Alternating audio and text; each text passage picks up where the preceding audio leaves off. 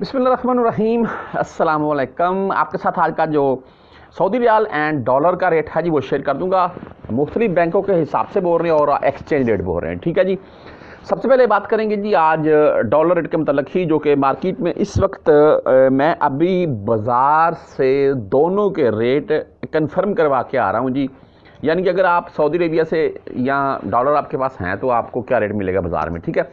बाज़ार में इस वक्त दो रुपये से दो रुपये तक का रेट है। जी, ये ओपन मार्केट का रेट है डॉलर का, ठीक है? वैसे दो सौ पच्चीस रुपये दो सौ छब्बीस रुपये एक्सचेंज रेट है, ये स्टेट बैंक का रेट है। अगर बात करें हम रिया रेट के मतलब तो रिया रेट का एक्सचेंज रेट जो इस वक्त चल रहा है, जी, वो है जी साठ रुपये पचहत्तर पैसे हो चुका है।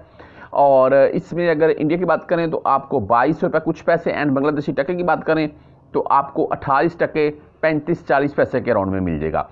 पाकिस्तान में इस वक्त अगर आप रियाल लाकर यहाँ पर चेंज करवाना चाह रहे हैं तो आपको कन्फर्म बात है जी, चौंसठ तिरसठ रुपये से चौंसठ रुपये के अराउंड में पाकिस्तान में रेट मिलेगा।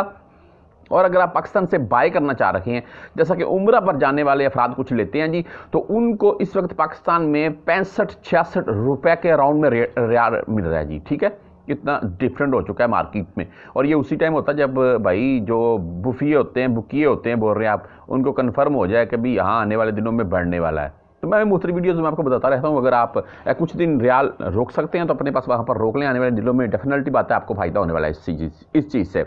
अभी मुख्तलि बैंकों के हिसाब से आपको रेट बता देता हूँ मैं।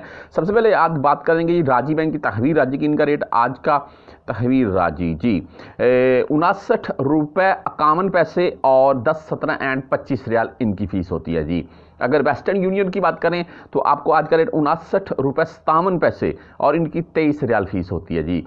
अगर मनीग्राम की बात करें तो आज का रेट उनासठ रुपये छियासी पैसे हो चुका है और तेईस रियाल इनकी भी फ़ीस होती है। अगर टेली मनी यानी कि ए एन बी बैंक की बात करें तो आपको उनासठ रुपये सत्तर पैसे आज का रेट मिल जाएगा और पंद्रह एंड सत्रह रियाल इनकी भी फ़ीस होती है।